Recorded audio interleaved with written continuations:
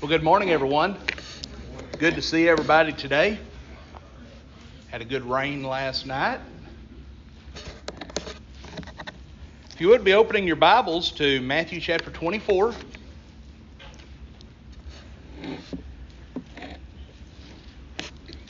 Matthew chapter 24. Today we're going to begin in verse 30.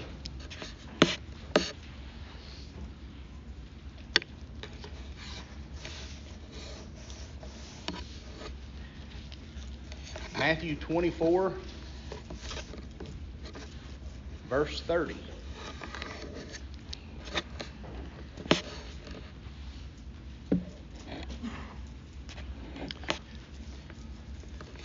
Dad, would you lead our prayer for us this morning?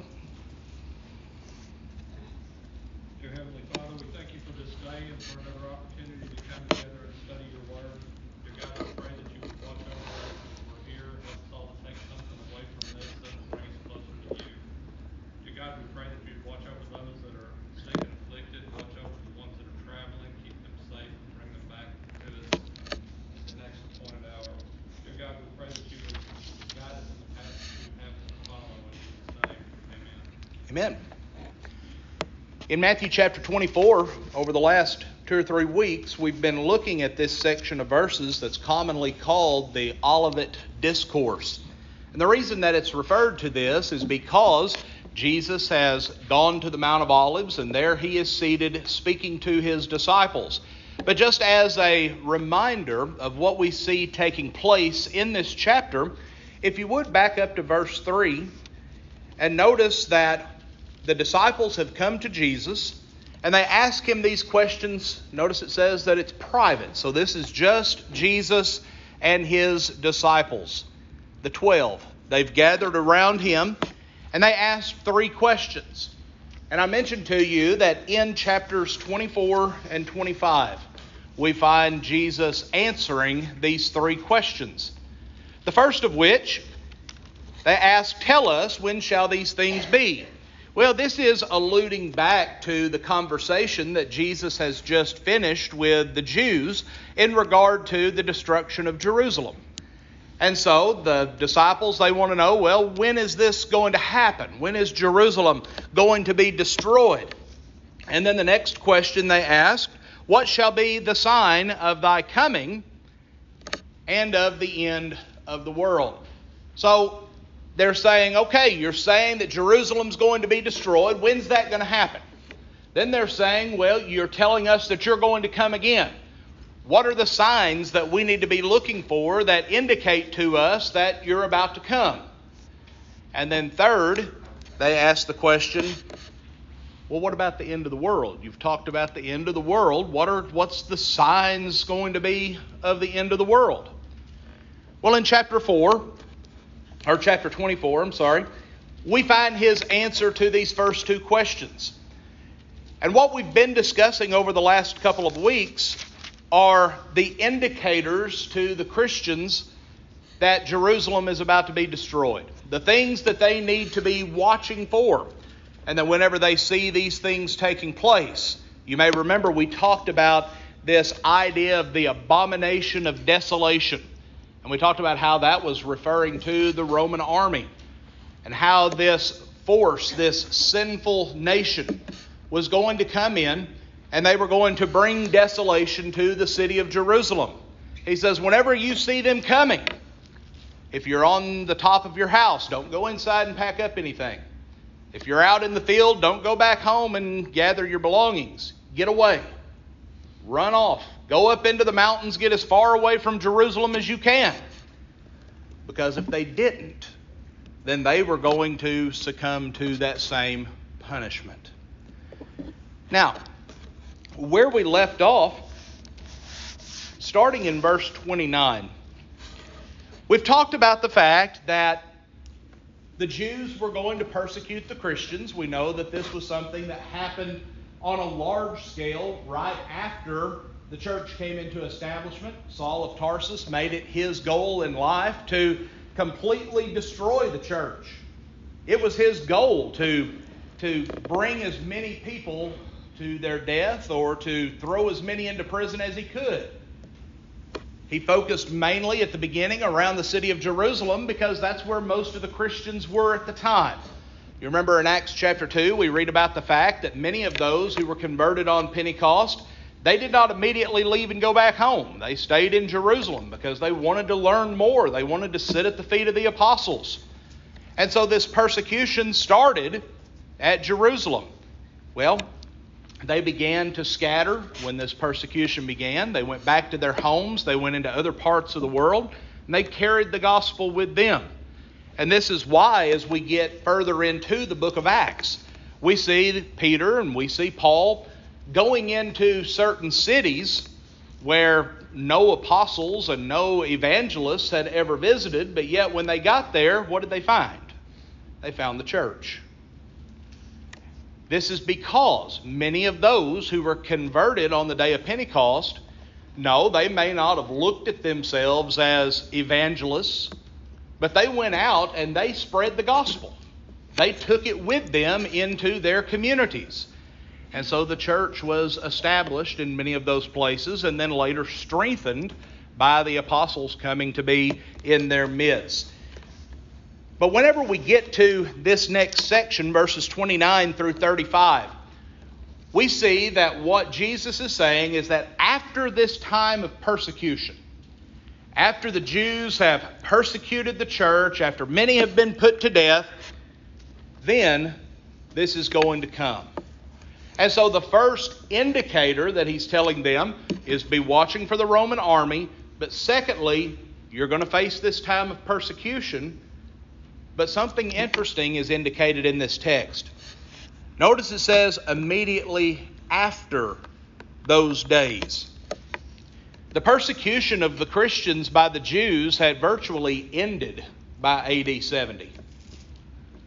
The Romans had taken over, and there were some small pockets of persecution that was being carried out by the Romans at that time. Uh, we know around the city of Rome, there in the 60s, you had the persecution that Nero brought about by accusing the Christians of burning the city of Rome. But this persecution at the hands of the Jews pretty much ended when Saul was converted to Christ. We might refer to him as the ringleader, so to speak. He was the one that had everybody stirred up, had them focused upon this persecution. Well, when he was converted, their leader, their poster child, he was no longer there to carry this out. And so much of that persecution ended. So notice that Jesus is saying is that you're going to face days of persecution, but that persecution is going to end. You're going to see a time of relative peace between the Jews and the Christians. Whenever we look at this section of verses, granted, it sounds very similar to some of the things that we read in other passages that talk about Jesus' second coming. But what we need to understand is this is not intended to be taken literal. What he is going to present to us in these next few verses are symbols. And those in our class on Wednesday night uh, studying the book of Revelation, some of these symbols are ones that are going to be familiar to you because these were common things that they used in those days to indicate uh, various issues and various things that were taking place. Notice this is not saying, as some in the Lord's church today are saying, that Jesus literally came back to earth in AD 70. It is not saying that Jesus literally judged the whole world in AD 70. But what this is saying is that divine judgment that is coming from heaven came down upon the city of Jerusalem. The way that that was brought about, it was brought about by the Romans. But God was the one that allowed this to take place. God was the one that was bringing this punishment upon the Jewish nation for rejecting Christ. So let's back up. Let's read verse 29 and verse 30, and then we'll start our discussion.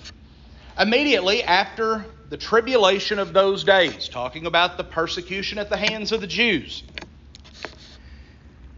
it says, The sun shall be darkened, the moon shall not give her light, and the stars shall fall from heaven, and the powers of the heavens shall be shaken. And then shall appear the sign of the Son of Man in heaven, and then shall all the tribes of the earth mourn. And they shall see the Son of Man coming in the clouds of heaven with power and great glory. Sounds very similar to the descriptions that we see both from Jesus and from the Apostle Paul about what it's going to be like when Jesus comes again at his second coming. But looking at the symbolism that's here, and remember, we have to keep things in context. We know without a shadow of a doubt that what he's talking about here is the fall of Jerusalem because he's answering the questions that the disciples asked. And if you continue reading down through this chapter, we're going to get to the point where you can easily see the break in the discussion, where he stops answering one question and goes into another. But looking at verse 29, and we alluded to this just briefly last week, but just as a reminder, in the scriptures, whenever we see this symbol of the sun, usually this is referring to God and God's influence. Well, when it talks about the fact that the sun shall be darkened, what this is talking about is the sinful nature that had come to basically run rampant in the city of Jerusalem. They were no longer allowing God's influence to come into their life. They were not allowing God to direct their steps. And therefore, in this sense, the influence of God has been darkened. Secondly, it says, The moon shall not give her light. The moon, most people look at this and they say, well, this is referring to um, the leaders of the Jewish nation. Those high priests and the scribes. They were the ones that were to be reflecting God's influence to the people.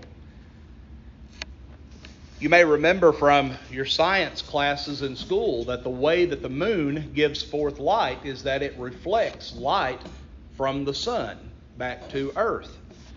Well, at, in looking at what this is saying, the ones that were to be seen as the most righteous, the most holy, the ones that were to be looked up to, they were no longer shining forth that light because, as it says, that light had been darkened.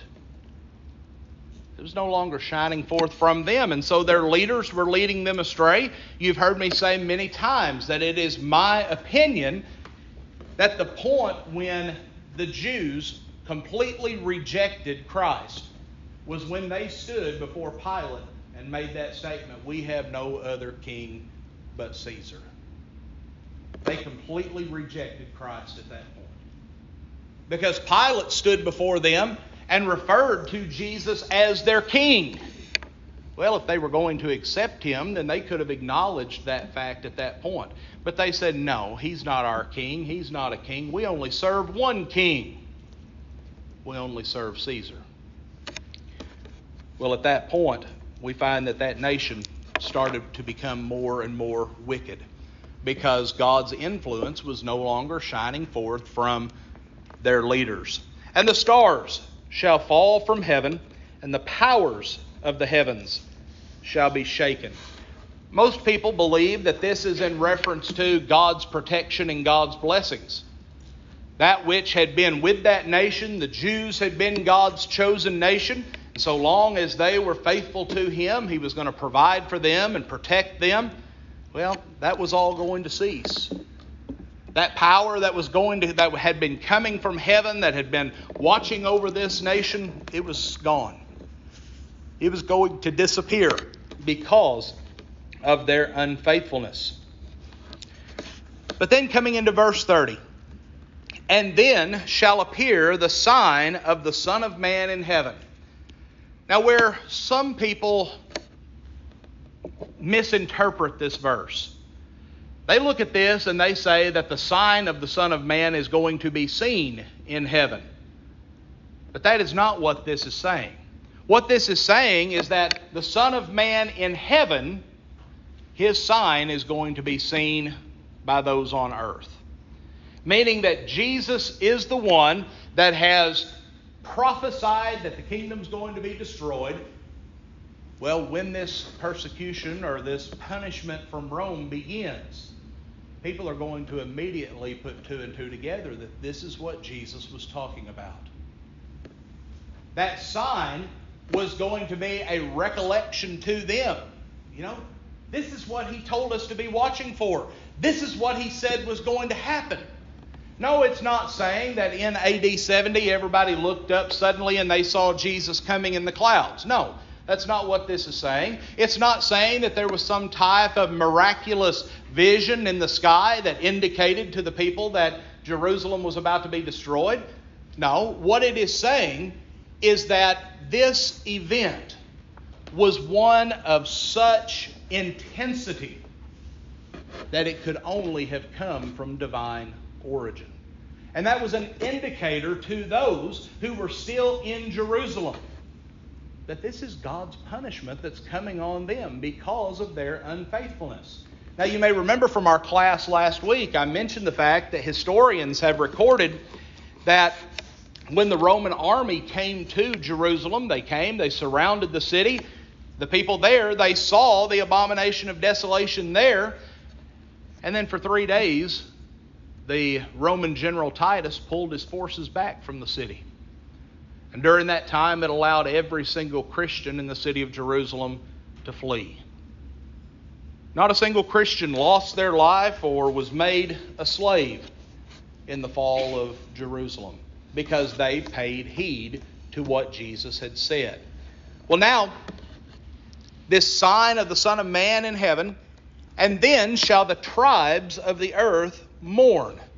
Well, the tribes of the earth here is in reference to those, uh, those tribes of Israel, which we know at this point there were only two tribes that were still maintained in any type of uh, structural way. It was the tribes of Judah and Benjamin. Those that had been a part of the nation of Judah, that had been carried away into Babylonian captivity. Now, something to keep in mind, folks, they were never called Jews until they went into Babylonian captivity. That's something that, that a lot of times, and I have to catch myself on this a lot, we find three different designations given to essentially the same group of people. We see them referred to as Hebrews, we see them referred to as Israelites, and we see them referred to as Jews. But then, whenever you break that down, you find that there's some marked differences in those three. Every Jew was an Israelite, every Jew was a Hebrew. But not every Israelite was a Jew, and not every Hebrew was a Jew. Do you remember the origin of the name Hebrew? Anybody remember that? Where that originated? That was the title that the Canaanites gave to Abraham when he left his homeland and moved to Canaan. They referred to him as the Hebrew. Hebrew literally means from beyond the river. And that's because he came from the other side of the Jordan River. He crossed into the promised land, and so he and all of his descendants came to be known as the Hebrews. Well, there is an entire race of people today that descended from Abraham that cannot be referred to as Israelites, and you better not refer to them as Jews. And that's the Arab people. They descended from Ishmael. And since they're descendants of Abraham, they can be referred to as Hebrews. But then only those who descended from Jacob took on themselves the name Israelites or children of Israel. You remember later in his life, his name was changed to Israel. Esau's name was changed to Edom. They came to be known as the Israelites. Well, then, after the kingdom divided, You had the nation of Israel, the nation of Judah. Well, only two of those 12 tribes remained in Judah Judah and Benjamin. Judah was the larger of those two tribes, the stronger, the more prominent, and so their name was the one that uh, was generally given to that group of people. They were known as Judeans, but then Babylon came and they were carried away into Babylonian captivity. Well, while they were there, you may remember, especially from reading the book of Daniel, that one thing the Babylonians tried to do was to give new names to all of them. Tried to remove any type of indicator that they were not Babylonian. You remember we have Daniel's name was changed to Belteshazzar. And then you had three men Hananiah, Azariah, and Mishael, and their names were changed to Shadrach, Meshach, and Abednego.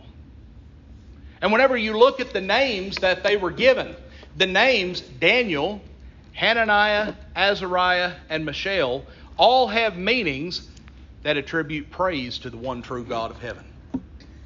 But the names that they were changed to, Belteshazzar, Shadrach, Meshach, and Abednego were all names that gave praise to the gods of the Babylonians. And something that I've always found interesting we remember Daniel by his Hebrew name. We don't remember him as Belteshazzar, but we remember Shadrach, Meshach, and Abednego by their Babylonian names, not by their Hebrew names. I've always found that interesting. But that's neither here nor there. But they tried to change the culture of the people. Well, among those two tribes, while they were in Babylonian captivity, in order to retain some of the uh, national heritage that they had, they began to refer to themselves as Jews. And then when they were allowed to go back and rebuild Jerusalem and reestablish their nation, they just retained that title Jews. And so you see, there was a, a, a difference there in those three groups. And oftentimes, I think we have a tendency to use those interchangeably.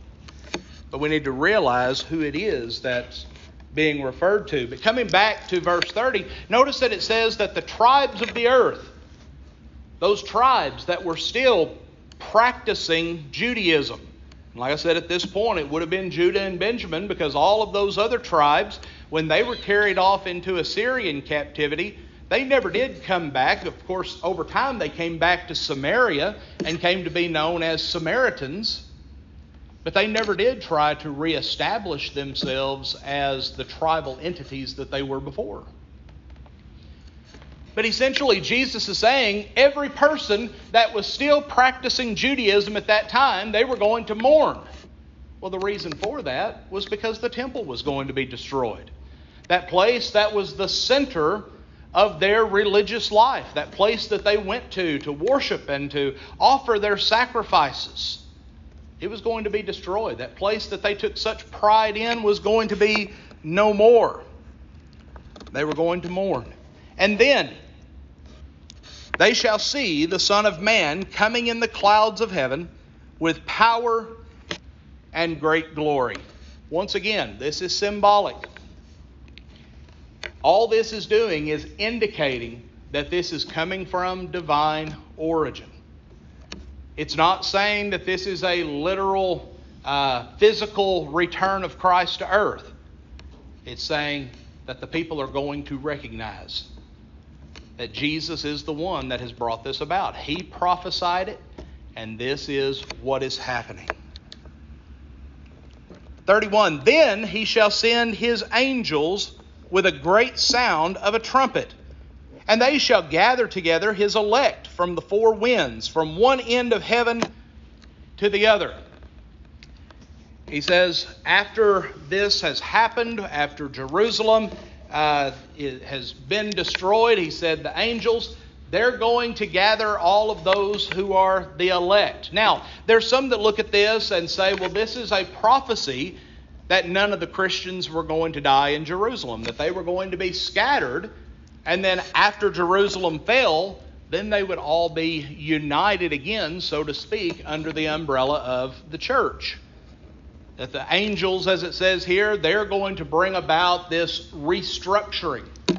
Well, I don't know that I would go so far as to say that that's what is being referred to here, but we do know that this is alluding to the fact that there would be unity, there would be peace with the Christians after this has taken place. Because remember, this punishment was not against the Christians. This punishment was against the Jews. Even in the minds of the Romans, they weren't coming to Jerusalem to kill Christians.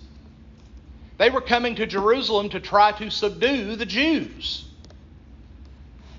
And so Jesus is trying to help them to understand that this is not something that is intended to bring any type of hardship or detriment upon Christians at all. That God is going to be watching over them. He's going to send His angels to comfort them and maintain that unity, even though they're scattered abroad. That Jesus is the one that is going to send them to do this. Any questions or comments? We're fixing to get into a parable and before we do that, any questions or comments on what we've discussed thus far? Josh, I've heard a lot of people study this, but you've done the best job I've ever heard. Well, I appreciate it. We just we have to keep everything in context. And it's so easy, especially whenever you see the similarity in the language that's being used in different places, it's so easy to look at this and, and come away with the wrong interpretation. And that's why we do see many in the religious world today that have erring views in regard to this passage. Especially, and, and we've talked about it just briefly, and I've not gone in depth into it because I don't fully understand it myself. This whole idea of the AD 70 doctrine that says that Jesus actually returned in AD 70, that the church did not literally come into establishment until AD 70, that uh, final judgment took place in AD 70. Basically, everything that we read about that talks about the end of time took place in AD 70. Well, if you look at this and you try to uh, interpret it 100% literally, then you're going to come away with that kind of a view, just like if you try to interpret Revelation literally, you're going to come away with a premillennial view.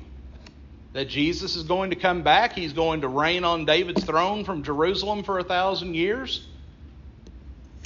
That's why we have to understand the style of writing. We have to look at the context of the passages that we're looking at. And the whole key in looking at these two chapters is remembering verse 3. Remember what it is that Jesus is talking about. He's dealing with these questions that they have. Is he still, through this whole discourse, just talking to his disciples? Is this still part of that private? Yes. Yes. This, as I said, he this. was expecting the disciples to spread that out. to Yes. Christians. Okay. Yes, because you remember in the previous chapter he's he stopped talking to the Jews. He's not he's not devoting any time to that now, but he's spending time with those disciples, preparing them because he knew that they were going to be the ones to carry this out. And so he's sharing this information with them, uh, mainly in response to the questions that they asked. They wanted to know what do we need to be looking for? What do we need to uh, have as a warning? Why do people dwell on that so much when they should be thinking about their soul salvation? I cannot understand, but there's a lot of people that does that, you know. Well, you know, it's it's like we talked about in our sermon a couple of weeks back. So many times we get stuck on our opinions on things and or or we get wrapped up in the things that we might refer to as being very stimulating, things that are exciting to us and we try to break those things down and and try to understand those things. So much of that does not have a bearing on our salvation. And you know, something that, that I've told people before when they try to talk about this idea of premillennialism or AD 70 or whatever the case may be, when it comes down to it, if we're ready when Jesus comes again, it really doesn't matter how he comes. It really doesn't matter the exact timeline or the structure or all of those things. That's not going to matter to us on that day. Speculate on it for ever. That's right. That's right. Waste of time. We should study how to be a good Christian and how to, not that I'm perfect, I don't mean that. Well, you know, the Apostle Paul spoke several times about avoiding meaningless discussions. You know, things that don't have a bearing on our salvation, things that are left up to speculation. And that's why, you know, a lot of times I'll tell you, now this is my opinion on this matter, or we can't back this up, but we don't dwell on those things. We try to get back to the things that really matter. And so, once again, now, do I believe that premillennialism is wrong? Yes. Do I believe that AD 70 doctrine is wrong? Yes. But when it comes down to it, if I'm ready when Jesus comes again, those things aren't going to matter to me. What's going to matter is I look up and I see my Lord coming, and I know I'm ready. That's what's going to matter. And so we need to focus upon the things that the Scriptures tell us about how to be ready for that day. Okay, we're going to stop there. And I think that's a good place to stop because we'll then pick up with this parable of the fig tree, uh, verse 32, next Sunday.